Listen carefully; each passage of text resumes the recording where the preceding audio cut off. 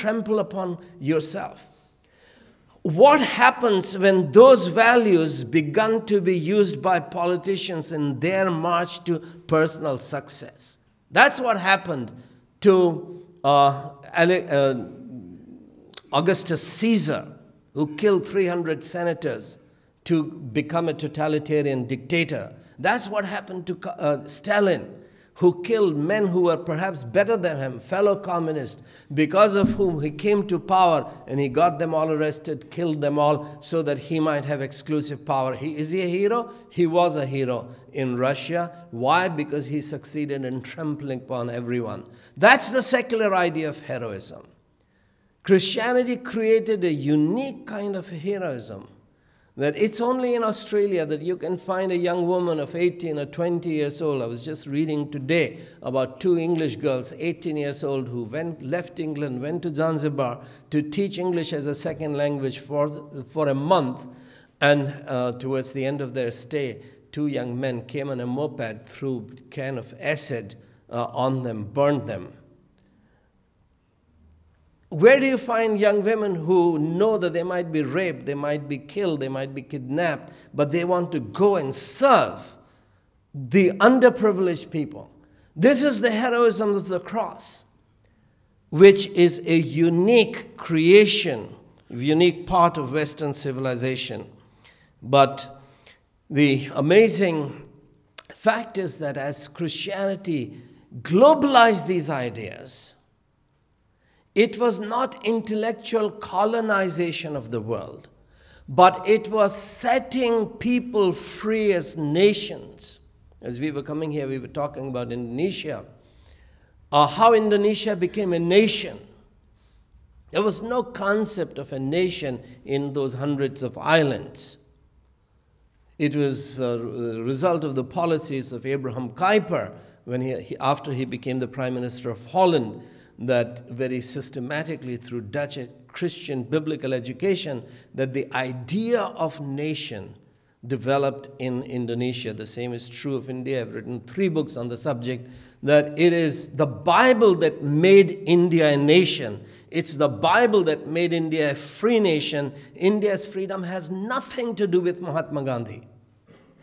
He has a small role in uh, India's freedom but not in creating India as a nation.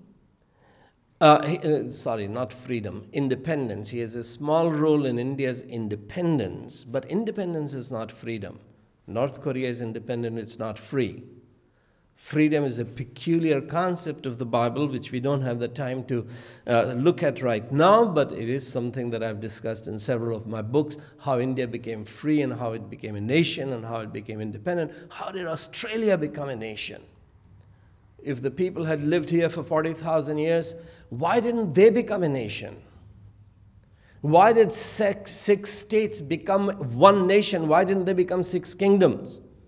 Why did America, which was 13 colonies, become 13 kingdoms after American Revolution? Nation is a peculiar biblical concept which begins in Genesis 10 and 11. It's not an atheistic concept. Atheism is destroying the concept of nation today in EU. Nation is a dirty word in England.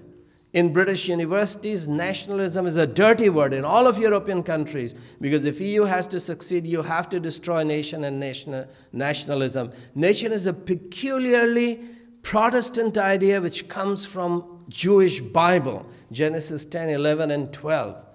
God creates nations and he then says to Abraham, You come and follow me, and I will make you a great nation. And through you, I will make all the nations of the world great. I will bless them. I will heal them. I will bring justice to them. I will bring righteousness and hope to them. That's why today in Europe, the weak nations are Greece and Italy and Spain. Uh, Portugal and Cyprus, these nations which do not have a Protestant heritage, they are the weak nations. The strong nations are Switzerland and Germany and England and Holland and Denmark. These are nations whose cultural roots go into the Bible because it was a peculiarly biblical idea. You begin to see that in a recent movie like James Bond, Skyfall. where uh, England is falling apart, and even Bond now has to turn to the Reformation and say to the mother, representing Mother Queen, go into the chapel, but go to the chapel through the Reformation tunnel. That's where evil will be defeated. I have on YouTube in my uh, summary of an exposition of uh, a review of that film, so I won't go more into it. But it's very interesting to see that as England begins to see that the uh, most dangerous enemies of England today are being trained in British universities. They're not being trained in Pakistan and Yemen and Saudi Arabia. People who are destroying England are being trained in England. And England cannot be saved unless it returns to its old values that made it a great nation. And the same is true of Australia.